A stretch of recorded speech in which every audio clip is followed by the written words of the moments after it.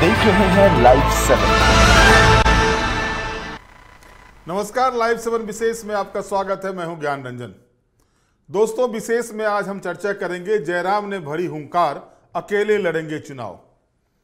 जी हाँ दोस्तों, जिस तरह से लगातार ये बातें चर्चा में आ रही थी कि भाजपा लगातार जयराम से संपर्क किए हुए है, भारतीय जनता पार्टी चाहती है कि जयराम महतो उनके साथ गठबंधन करें, चुनाव लड़ें और इस चर्चा पर आज जयराम महतो ने स्वयं मुहर लगा दी। उन्होंने कहा कि पार्टी के एक महासचिव स्तर के पदाधिकारी उनसे लगातार संपर्क में थे और वो चाहते थे कि गठबंधन करके चुनाव लड़ा जाए, झारखंड विधानसभा का चुनाव लड़ा जाए। और उन्होंने ये भी कहा कि लोकसभा चुनाव के समय भी उनसे संपर्क किया गया था।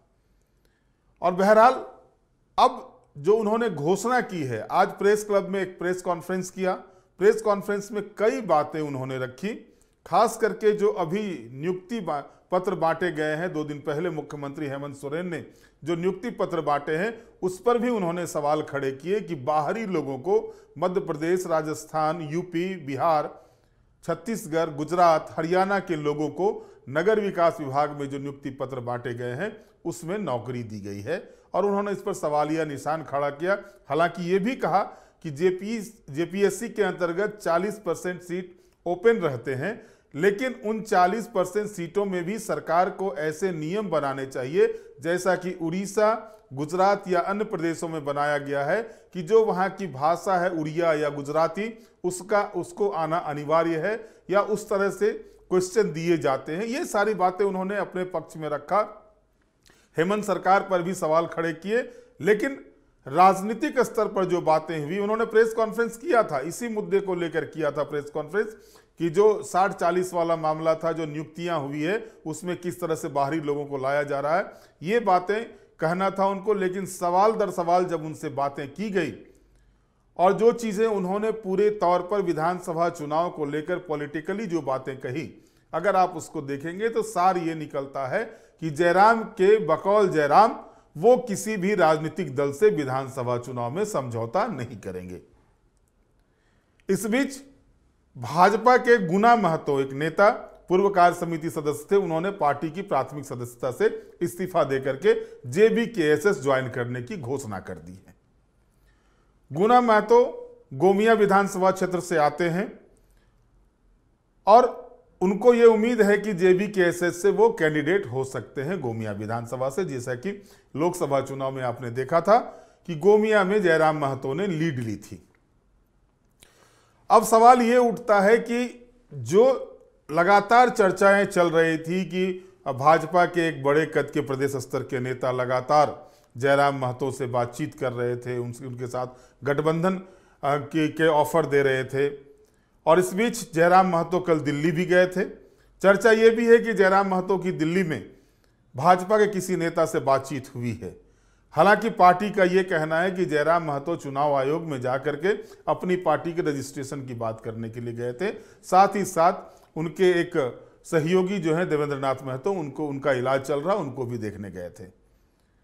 खैर, ये अलग बातें हैं, लेकिन जो उन्होंने खुलकर कहा और पहले तो उन्होंने 55 सीटों 50 से 55 सीटों पर लड़ने की बातें कही थी। अब वो जब पलामू क्षेत्र का दौरा किए, उसके बाद से उनका ये कहना है, जयराम महतो का, कि अधिकांश सीटों पर चुनाव लड़ेंगे।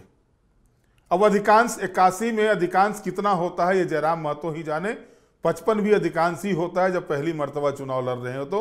और साथ ही साथ कई विषयों का पैसा फंडिंग कहाँ से आ रहा है, उनसे ये भी सवाल किया कि विदेशी फंडिंग आपको मिल रहे हैं।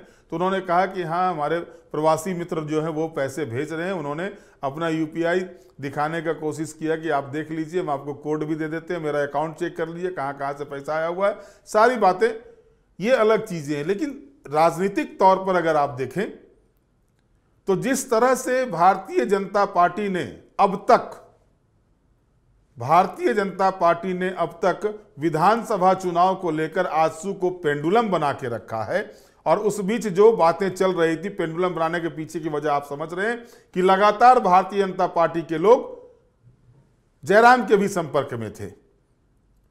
और आजसू पार्टी को यह भाजपा में तय हो चुका है कि मुश्किल से छह या सात सीटें मिलेंगी। अगर वो उस पर तैयार होता है तो ठीक, अन्यथा भाजपा कुछ और निर्णय ले, ये भी हो सकता है। कल देर शाम शिवराज सिंह चौहान जो चुनाव प्रभारी हैं, झारखंड विधानसभा के चुनाव प्रभारी हैं, उनसे भी सुदेश महतो ने मुलाकात की। और मुलाकात के दौरान विधानसभा चुनाव पर जो है सो बातें भी हुई, विधानसभा चुनाव को लेकर के बातें हुई। लेकिन सीट शेयरिंग का मामला पर जो जो मेरे पास जानकारी आई हुई है, सीट शेयरिंग के मामले पर किसी तरह की बातें नहीं हुई है। साफ़ तौर पर यह कहा गया है कि सीट शेयरिंग को लेकर के प्रदेश स्तर में बैठक होगी। प्रदेश स्तर में बैठक होने के बाद वहीं से फैसला होगा, तब आला कमान उस पर मोहर लगाएगी। तो ज़ाहिर तौर पर अभी सुदेश महतो को और इंतज़ार करना होगा, भले ही तीन दिन से वो दिल्ली में थे। अमित शाह से केंद्रीय गृह मंत्री से मिलना था, नहीं भेंट हो पाई।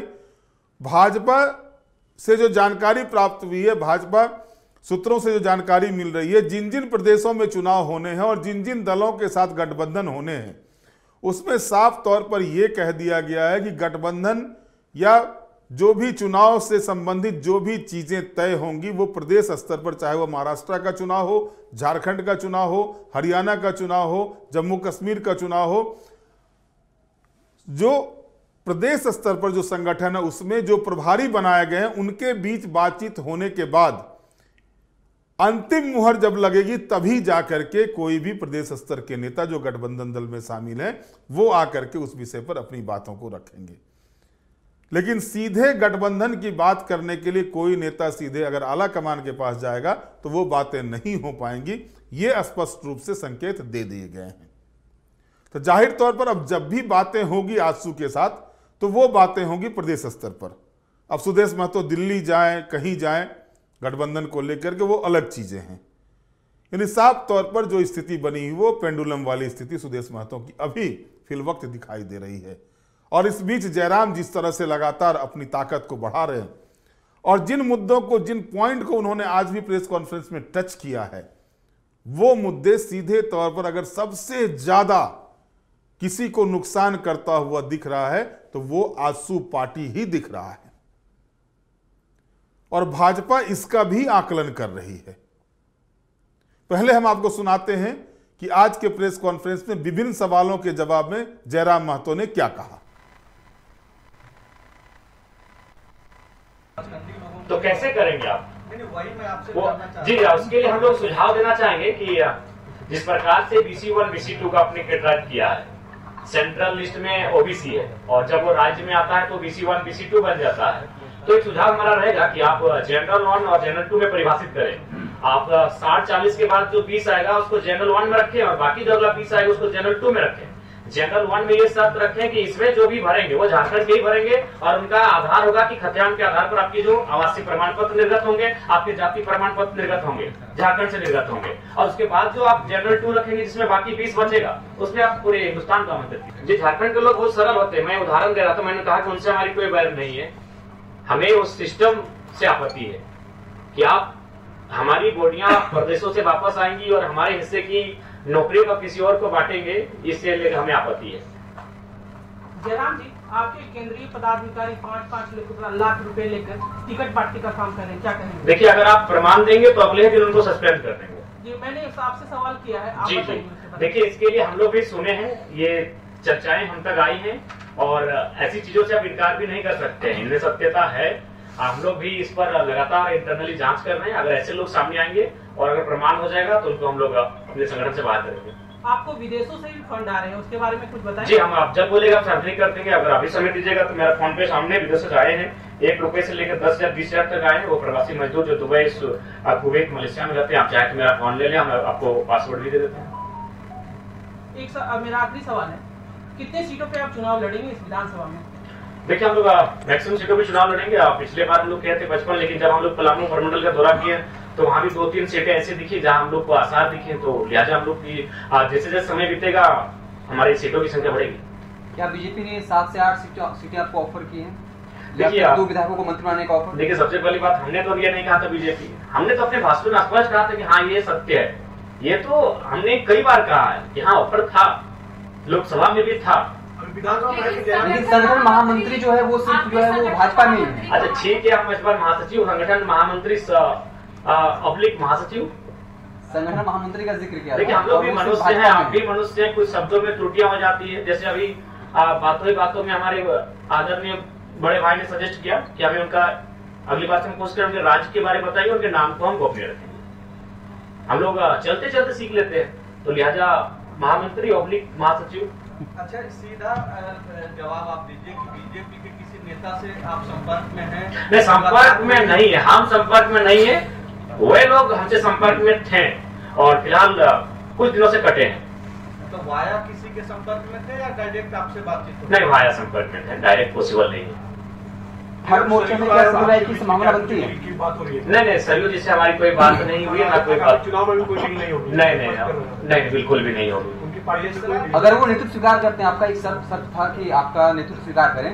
अगर श्री राय अगर आपका नेतृत्व स्वीकार कर लेते हैं तो क्या थर्ड मोर्चे में उनकी संभावना बनती है? देखिए वो काफ़ी आयु में हमसे वृद्ध है तो हम चाहेंगे वो जहाँ बेहतर हैं और हम लोग लगता है कि शायद उस तरह से हमारे जो युवा हैं पता नहीं उनके साथ फिट बैठेंगे तो उस पर कभी बातचीत हुई नहीं और हम लोग उस पर बातचीत भी नहीं किए हैं। हम लोग अपने स्तर से आपको अपने आप को बेहतर कैसे करें इस पर काम कर रहे हैं। विधानसभा चुनाव में क्या किसी पार्टी के साथ आप गठबंधन करेंगे? नहीं हम लोग हम लोग चुनाव फ्रेश लड़ेंगे और बिल्कुल अपने सिद्धांतों के साथ लड़ेंगे। मतलब ये तय है कि आप नहीं किसी से गठबंधन करेंगे? जी जी भैया। संजय भैया हैं क्या? हम दिख नहीं रहे हैं। जी भैया ये पूरी तरह तय है कि हम लोग चुनाव बिना किसी गठबंधन के लड़ेंगे। देखिए अगर राज्यों की खनिज पर अगर राज्य को भागीदारी मिल रही है या फिर राज्य को नियंत्रण देने की बात कही जा रही है तो ये स्वागत योग्य है। क्योंकि देखिए दिल्ली में बैठे लोग नहीं समझ पाते हैं राज्य की समस्या को। और ये मनमानी होती है दिल्ली में बैठे लेकिन अगर ये सुप्रीम कोर्ट का फैसला आया तो इसका स्वागत है।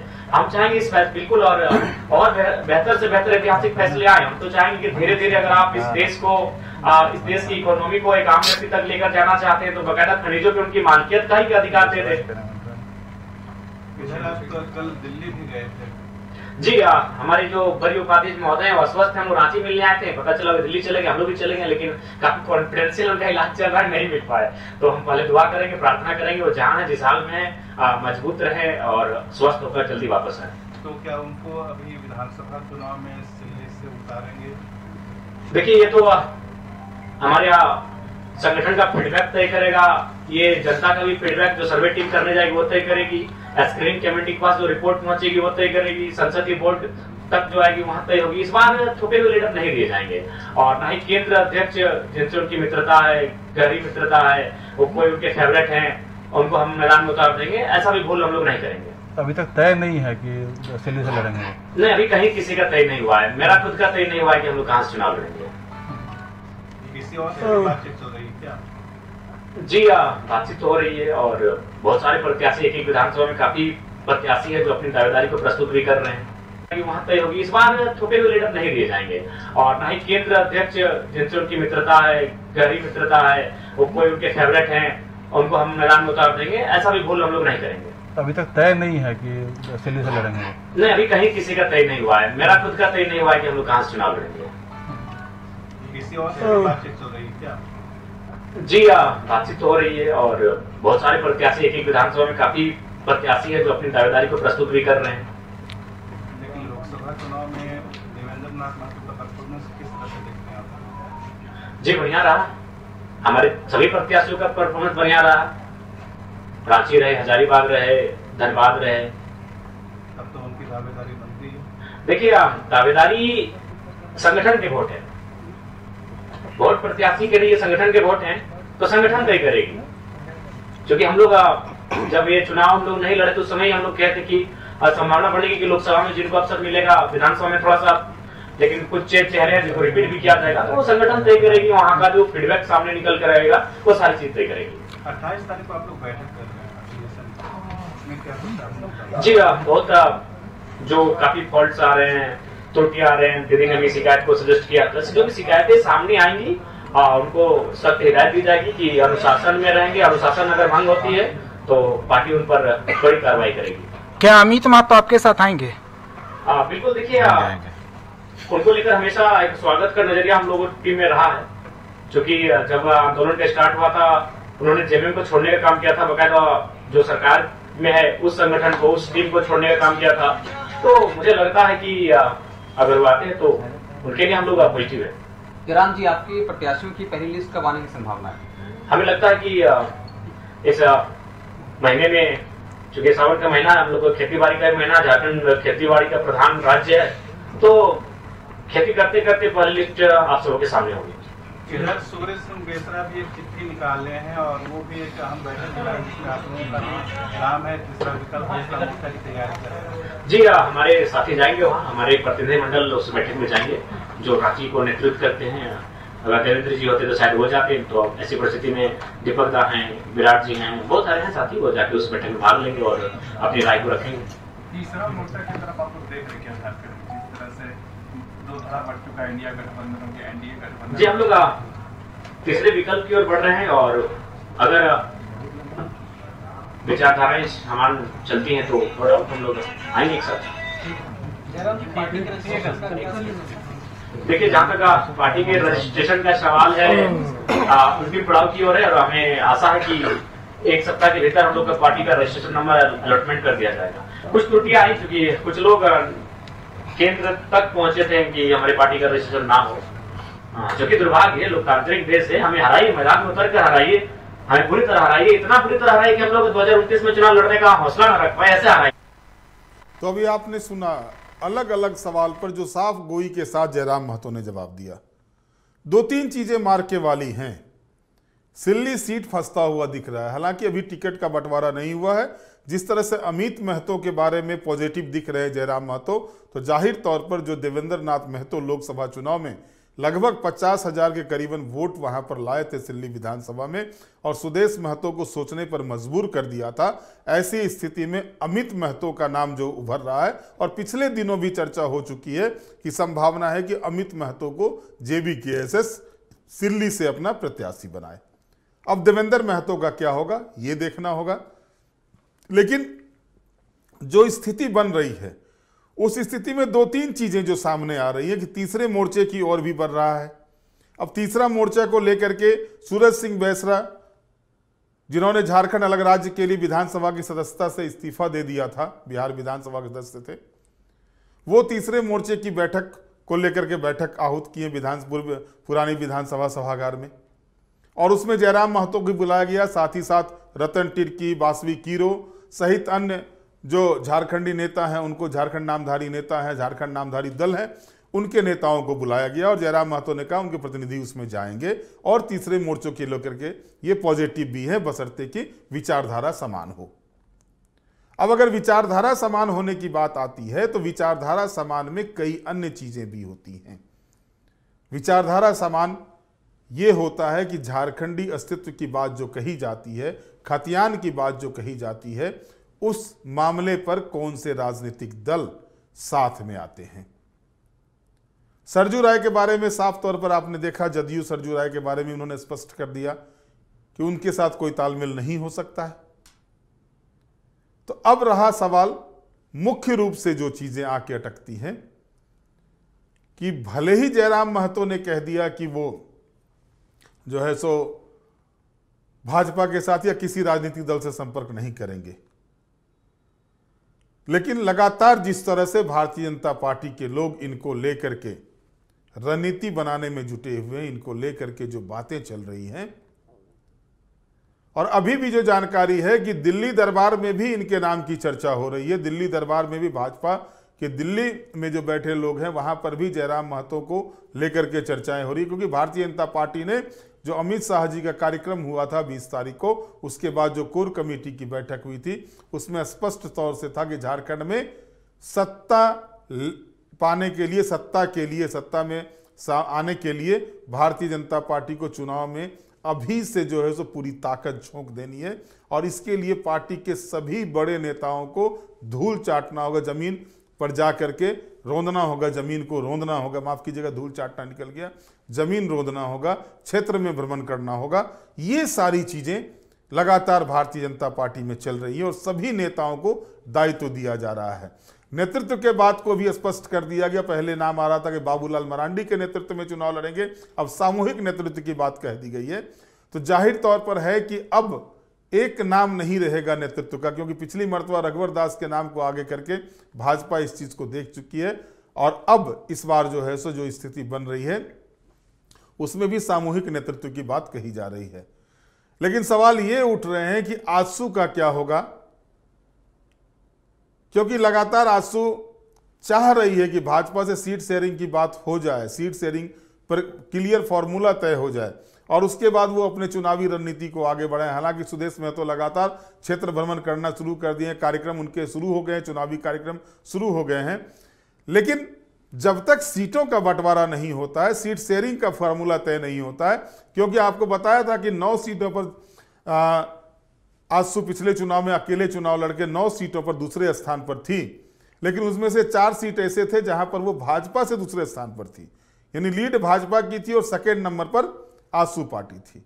आँसू पार्टी जिस जुगलाई, जुगसलाई सीट की बात करता है, उस सीट पर भाजपा जो है सो उससे बीस हज़ार वोट ज़्यादा लाई थी। लोहरदग्गा सीट की बात करता है लोहरदग्गा में भाजपा कैंडिडेट उससे आगे थे। कभी कमल किशोर भगत वहाँ से चुनाव जीते थे, लेकिन उनकी पत्नी नीरू शांति भगत चुनाव नहीं जीत पाई थी। जब सहानुभूति के वोट भी थे उनके साथ, तब भी चुनाव नहीं जीत पाई थी। सुखदेव भगत कांग्रेस से चुनाव जीते थे। तो अब जो सीटें बच रही हैं, क्योंकि भाजपा चंदन क्यारी सीट नहीं छोड़ सकती है, भाजपा राजमहल की सीट नहीं छोड़ सकती है। भाजपा जो है सिमरिया की सीट नहीं छोड़ सकती है। भाजपा मांडू की सीट नहीं छोड़ सकती। तो जो स्थिति बन रही है, उस स्थिति में क्या होता है? जो पेंडुलम वाली स्थिति आँसू की बनी हुई है, वो अब आगे क्या निर्णय होता है? लेकिन इस बीच जयराम ने जो साफ़ किया है कि वो किसी भी राजनीतिक दल के साथ समझौता नहीं करेंगे तो अब जयराम की हुंकार में कितनी ताकत है और चुनाव परिणाम क्या आते हैं, ये तो देखना दिलचस्प होगा। लेकिन इस बीच ये तो सच्चाई मान के चलिए कि सभी राजनीतिक दलों की, के के केंद्र में चर्चा का विषय फ़िलहाल जयराम महतो बने हुए ही हैं। बहरहाल आज के विशेष में इतना ही। आप हमारे साथ जुड़े रहें, हमें लाइक करें, सब्सक्राइब करें। बहुत बहुत धन्यवाद। नमस्कार।